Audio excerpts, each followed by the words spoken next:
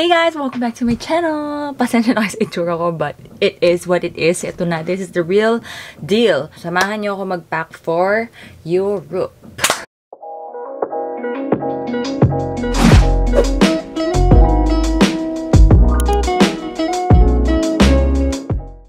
Our trip is to Croatia because meron akong incentive trip from Young Living. Ako, si Don, tsaka si Mac, yung kapatid kong editor ko.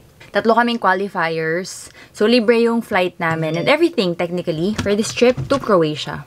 Pero since nasa Europe na naman si Croatia, then we decided to make it our Euro trip because it's done and my brother's first time pumunta doon. We're going to Amsterdam and then Croatia for the retreat and then to Rome and Madrid, Spain. This is all of our accommodations and flights and everything all over Europe. Simula nang dumating yung visa na pangit na itsura ko, pasensya na kayo.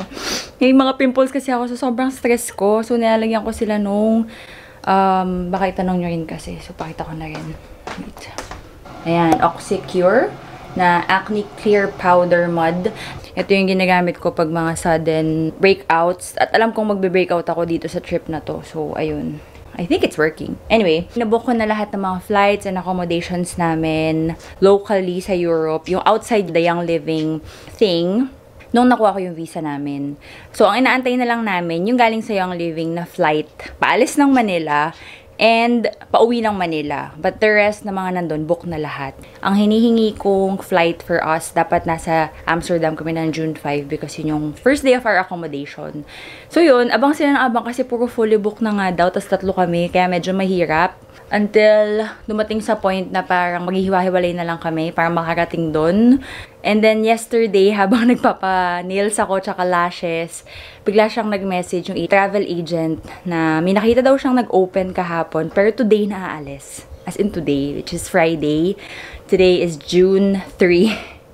So, yun, nagpapanik ako ngayon because ang dami ko pang work. Meron pa ako mga commitments for tomorrow. Yung accommodation namin is June 5 pa. Eh, ang mahal, mahal, mahal ng accommodation sa Amsterdam ngayon. Yung accommodation namin totoo, inabot ng 60,000 actually. Tapos magdadagdag pa kami. So, kanina, ang inaasikaso ko is maghanap ng accommodation pati last night. Pero my God, yung mga overnight stays are maabot ng 26,000. Pinakamura na yon And then, naghanap din ako sa mga hostels, couch surfing, mga bunk beds lang. 8,000 per bed. Yung pinakamura na nahanap ko. So, mahal na talaga siya. Anyway, somebody will kup-kup us for that one night. Thank you so much. May mga work pa akong gagawin mamaya but mag-pack muna ako para at least tapos na. Tapos the rest, pwede kong gawin mamaya habang nasa sasakyan, nasa airport, ganon. So, ang gulo ng bahay namin. Tingnan nyo naman yung mga laundry ko. Buti na lang magkakaroon kami ng house help. Yun sinusundo na ngayon ni Don, yung brother ko sa Lipa, tsaka yung house help namin. Siya yung mag-stay dito with Barkley for the whole time na wala kami. So, yan. Ang mga proposed shoes na dadalhin ko. Pero hindi lahat yan. So, iniisip ko pa. What I would normally do is um, finifit ko na lahat ng mga gusto kong outfits para hindi ako mag-overpack. And, and I was, and, dami kong natatagata kasi ang dami ding chat. Um, yun, yun yung ginagawa ko palagi. Nagpa-plan na ako ng outfits para hindi ako mag-overpack. At saka para pag nandun na, alam ko na kung ano yung mga suot ko. Alam na alam ko naman na mag-shopping ako doon. Especially punta kami sa Spain, so mura yung Zara. So, ang bala ko is yung outfits ko for Spain. Hindi ako magdadala para hindi na doble-doble yung magiging mga baggage ko eventually. And since it's a 15-day trip, maglalaba-laba na lang kami para hindi masyadong maraming dala. Kasi we're trying to save space na konti lang yung dadalhin namin para marami kaming space pa uwi. So I can shop properly and if nag-follow kayo sa Instagram, sabi ko, I'm gonna accept approximately mga 10 items na pasabay. Ayun, so para may space. Plus, kung ano man ang mabibili ko, kung may pera pa ako. Ang haba na agad ng kuda ko, but that is the process. So, ganito ang ginagawa ko. Gusto ko lagi may list. I feel so accomplished kapag natitik off isa-isa. So, una kong ginawa kanina, I printed all the documents that I need to bring kasi ako personally, I don't rely on the digital prints lang. So, lahat piniprint ko. Hotel bookings, flight bookings, everything. Next thing, I have this Europe na travel list. Been to Europe before, so medyo may idea na ako ano yung mga kailangan kong dalahin, especially mga adapters and stuff like that. And then, I have another list for Europe outfits. Ito yung pinaka feeling ko magtatagal ako kasi kailangan ko planuhin talagang mabuti as a maarte girl, pero light packer. So, I have here by the day. Tapos yung weather, chinek ko na rin. Tsaka yung mga balak naming activities. Actually, wala pa kaming any planned activities kasi magkaiba kami ni Don ng traveling na trip. Ako, gusto ko ahead of time, nakaplanado na, nakabook na lahat. Siya naman, mas gusto niya yung spontaneous. So, hindi ako nagbook ng anything pagdating na lang dun. But, meron ako mga proposed na gusto kong gawin. So, yun yung susundin ko na outfits. Last tip, sinabi ko na yun to sa Instagram ko before, but meron akong mga naipon ko lang ng mga gusto kong isuot sa Europe na nakikita ko sa Instagram, Pinterest, ganyan. Iniipon ko lang every time na dadaanan ko sa Instagram, ever since na nalaman ko mag-Europe ako. So now, babalikan ko lang lahat. Like, kagaya nito, oh a few pieces pero sobrang daming outfits na na magagawa. So, ganito yung peg na gagawin ko. Maghanap lang ako ng mga outfits ngayon, tapos balikan ko kayo later pagka ilalagay ko na sila lahat sa maleta.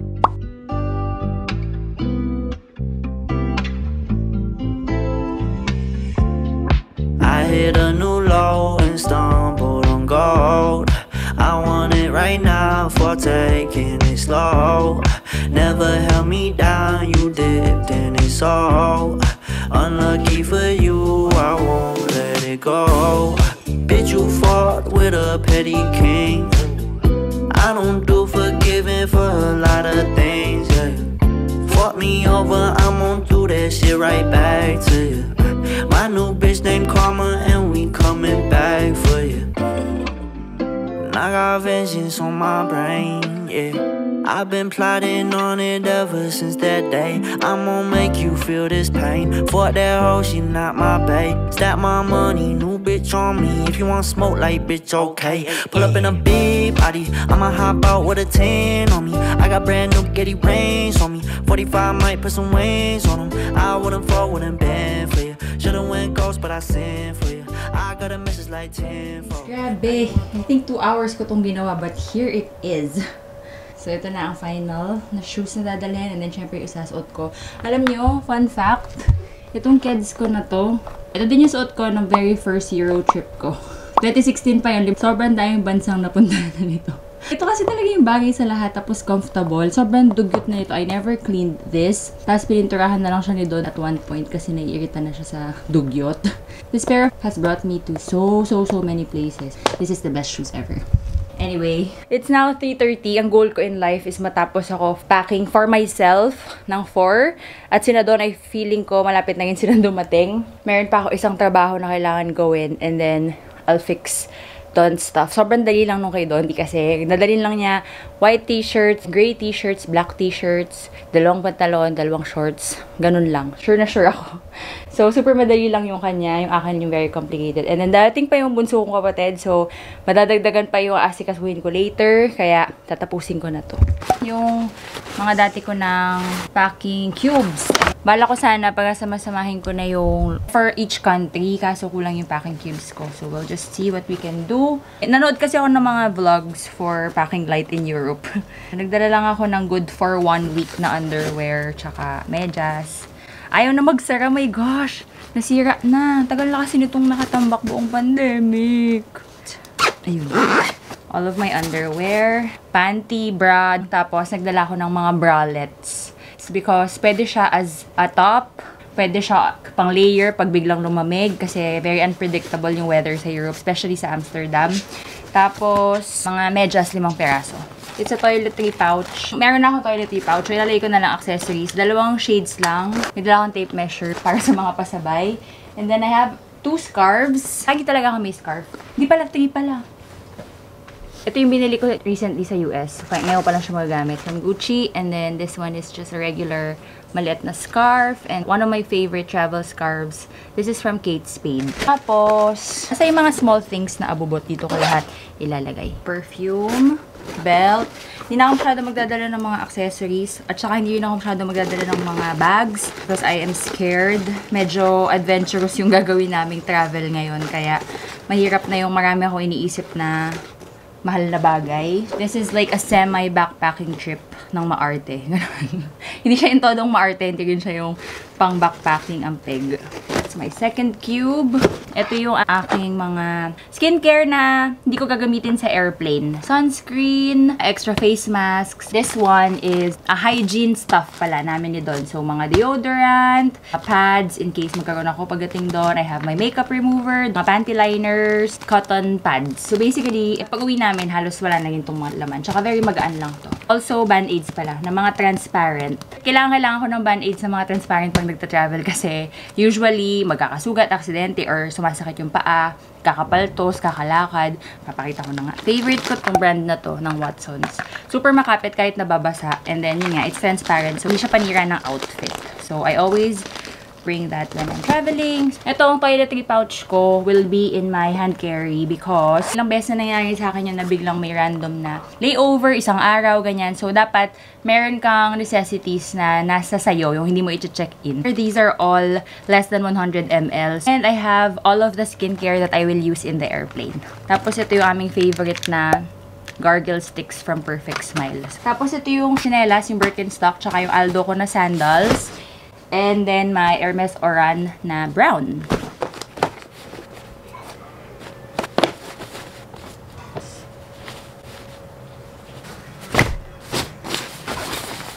So, I'm done with this part.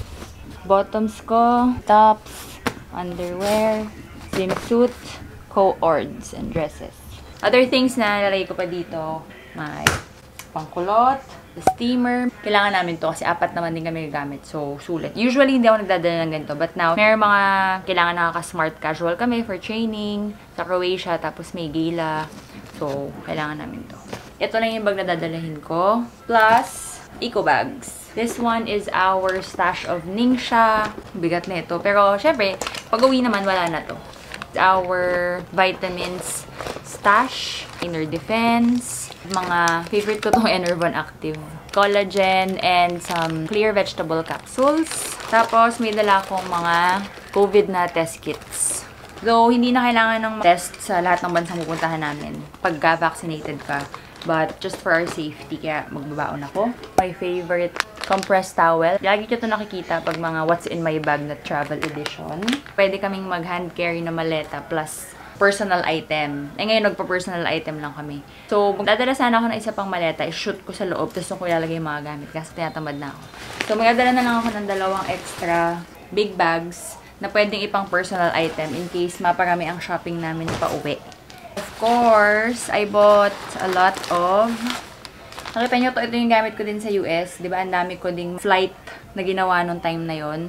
Ito yung ginagamit kong mask pagka nasa airplane, tsaka nasa airport. Para itatapon na lang after. Because this one always matches any of my outfits. Binilan ko si Don ng mga black. Tapos, ito. Actually, hindi nga umabot yung order ko sa Shopee. So, pinakancel ko na lang. And then, nag same day delivery na lang kami ng Mask Air. Lahat ata ng colors binili ko. Kasi, yung cousin ko na imimit ko doon sa Spain, na galing New Zealand, ito din ang hiningi niyang pasalubong. Plus, ito din yung iba namin gagamitin. Puro mask. We have to be very, very safe. Kaya, yan. I'm going to bring pillowcases kasi nakakapraning magpapalipat-lipat kami. Yung mismong gagamitin namin na ganun. Sarili naming pillowcase, just to be sure. Other important things pa na hindi pwedeng makalimutan are... May battery pa ba to? Okay. My trusty timbangan. Binigay ito sa akin ni Don nung nasa Dubai ako eh. Kasi every time na nagta-travel ako, problema ko nga ang excess baggage. Kaya ito, perfect. Kasi pwedeng bitbitin anywhere. Ngayon na lang ulit naglabasan ito mga ito. Hinalungkat ko pa to dun sa kung saan man. This is my universal na travel adapter. Meron tong pang Europe, um, Australia, Japan, China. Binili ko to nung nasa Dubai pa ako eh. Mga gadgets ko for vlogging. Ito, more na to 30 pesos lang ata. Lalagyan ng GoPro. Pag kunwari magbabike kami or adventure time, para nandyan lang yung GoPro. And then, one of my favorite travel accessory also. Yan. So, ginagawa ko, since isa lang yung travel adapter ko, ito yung sinasaksak ko dito. And then, everybody can saksak here. Mga charger na to ng mga GoPro. Yan yung sa mga laptop ko. Tapos, flask. Tatlo kami na ganitong size. Mahal ang bottled water doon. So, make sure you always have your drinking bottle. And then, this is what I'm gonna bring. A nebulizer para walang usok. Pwedeng hindi isaksak. So, kahit nasa airport kami nakatambay, pwede kong i-on. Kasi medyo nakakapraning. May monkeypox pa. Gagawa na lang ako ng 6 immune boosting blend ko. Yun, yun yung i-diffuse ko palagi dito. At saka gagawa ako ng roller blend for our paa. Yan na back of our spine. I think yun lang. Ah, Ay, ito pa pala. Dry shampoo. Ayusin ko yun doon and then I'll be back late. Hi guys. Time check. 7 o'clock na. Hindi pa rin ako tapos. At kanina kasi nagkaroon ng malaking-malaking problema na naman habang nag um, aayos ako. So, nanigas ako. It was about our flights again. But, right now, as we speak, okay na siya. So, nagkagana na ulit akong gumalaw. Grabe. So stressed. Hindi ko alam what every time na aalis ako lately, parang ganito ka, ano, kalala. Sobrang ganda kasi lagi ng kapalit. Kaya pinapahirapan mo lang mabuti. But, kailangan makaalis kami dito ng 2 a.m. Ang dami kong hindi nagawang other things na kailangan gawin. Dahil nag-focus na lang ako dito sa alis. So, after this, may edit pa akong vlog na dapat ay nung Wednesday pa. So, pa, pasensya na kayo. Ngayon malalaman nyo kung bakit dahil ang gulungan ng buhay. But anyway, so far, ito ang aming maleta. So, inside, itong isang malaking maletang to. Nandyan yung maleta ng kapatid ko. Ito yung maleta ni Don. Kasi sobrang luwag ng gamit. If tatlo yung maleta namin. Tsaka I figured, para habang naglilipat-lipat kami doon, dalawang maleta lang yung bit-bit. So, ayan, nandyan yung gamit ng kapatid ko. Plus, abuots naming dalawa ni Don. Tapos ngayon, nag-grocery pa siya. Bumibili ng mga other mga baon na kung ano-ano. Yun ang ipagsisingit namin dyan. And then, ito yung sa akin, tsaka yung kay Don na gamit. Like, lahat ng damit ni Don, nasiksik ko pa doon. Kasi yun yung hand carry ng brother ko, hand carry ni Don, hand carry ko. Itong mga gadgets nakasaksak lahat. So, yung mga yan, nalay ko lahat sa backpack ng brother ko tsaka ni Don. Yung batang yun, kung pwede ko lang din bitbitin. Basta kami. It's now 1.30. Waiting for Grab. Then go. To you, go. Will see you in two weeks. Bantay mo si Judy, ha? Late ka, ha?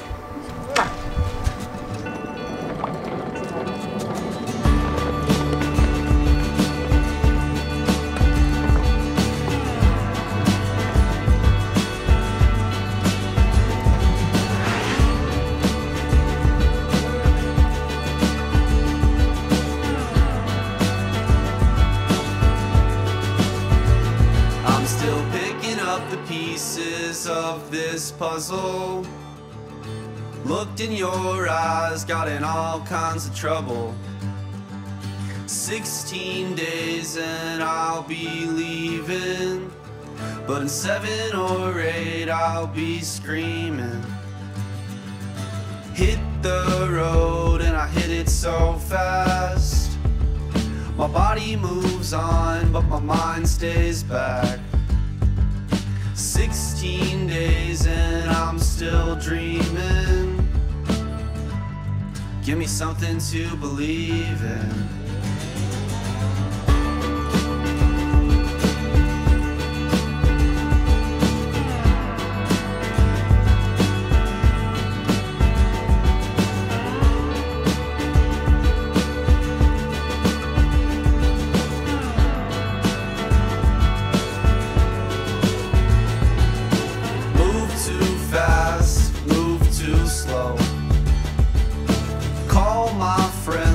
The river flow.